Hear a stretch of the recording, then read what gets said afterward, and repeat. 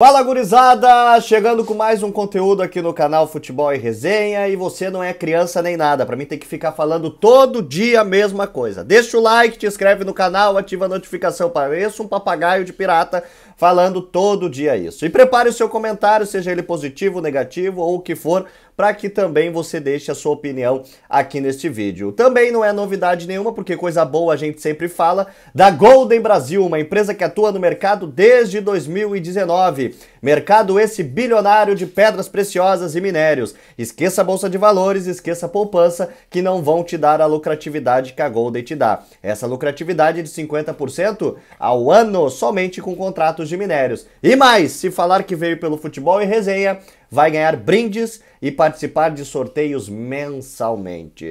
Eduardo Cudê chegou no Internacional e no treino de hoje teve mudança. Mudança radical e literalmente já digo que no canetaço.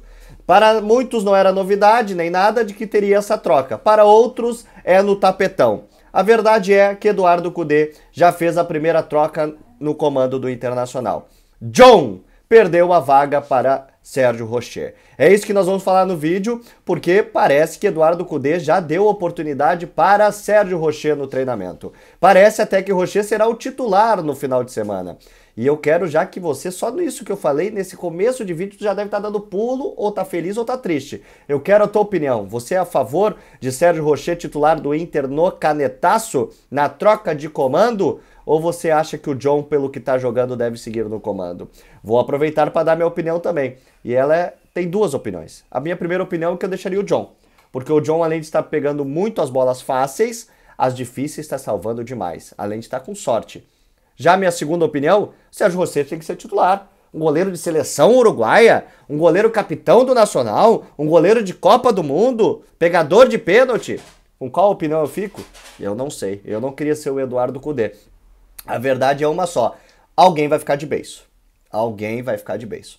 John, por estar tá jogando e ter salvado o pescoço muito tempo dessa gestão em muitos jogos, pode ficar de beicinho por estar tá indo para o banco. Ou daqui a pouco até o próprio Sérgio Rocher se vir para cá, ter deixado o Nacional onde ele era titular para ser banco aqui no Inter, também poderia ficar.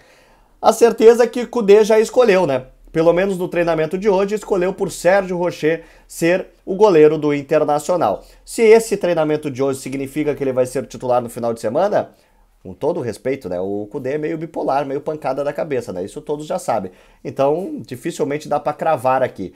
Mas tudo indica que sim, que o John tá perdendo um espaço no Inter.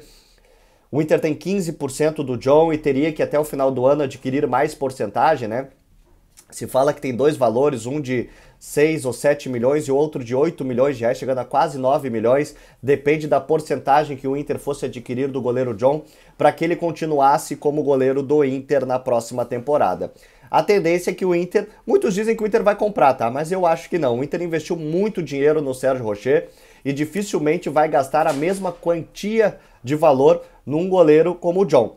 Né? Um goleiro que estava parado no Santos um ano, veio para cá, foi reserva do Kehler, claro que muitas vezes pela burrice do Mano Menezes, mas também está vivendo três meses aí no Internacional, né?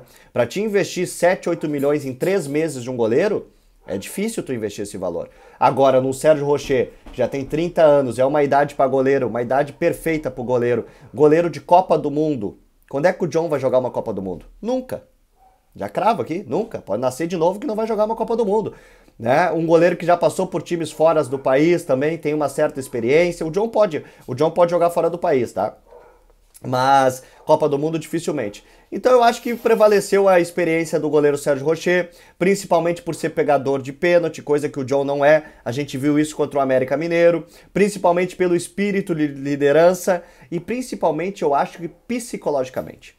O Internacional, nas disputas de pênaltis e grandes confrontos, a gente via que, principalmente no Beira Rio, sucumbia ao, psico, ao psicológico dos jogadores. Já agora, tem Mercado que jogou Copa do Mundo, tem Sérgio Rocher que jogou Copa do Mundo, tem Ener Valência que jogou Copa do Mundo, tem Bruno Henrique que foi capitão no Palmeiras, foi campeão de Libertadores, tem experiência também, não jogou Copa do Mundo, mas tem uma, uma bagagem também. Tem o próprio Alan Patrick, Olha quantos jogadores o Inter acrescentou que tem bagagem, que tem experiência.